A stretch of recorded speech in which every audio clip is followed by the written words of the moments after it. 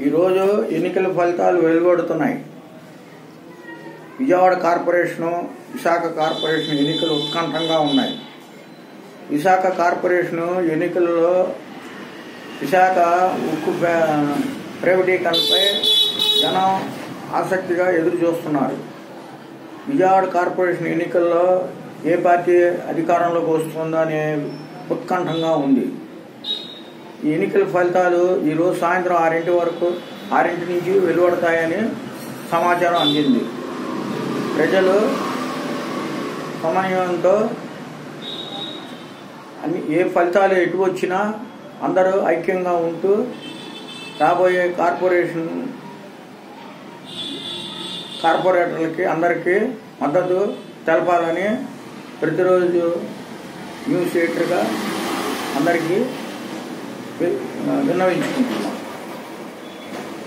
Mm, you can't even.